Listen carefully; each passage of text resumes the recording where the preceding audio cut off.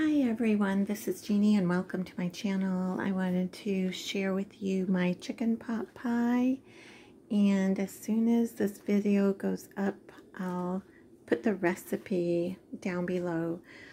But this is what I made for our dinner tonight. I put an egg wash on top to make it um, kind of more golden brown but it's full of um, dark meat, chicken thighs, I think four or five chicken thighs, lots of gravy and peas. You can use any vegetable you want.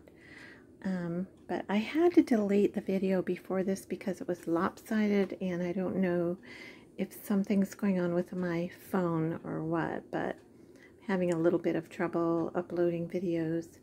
But anyhow, this is my chicken pot pie for dinner tonight. It's Thursday night. And if you try it, um, let me know. Like I said, I'll put the video below. And you guys have a wonderful day today. Thanks for tuning in for dinner tonight at my house. Bye-bye.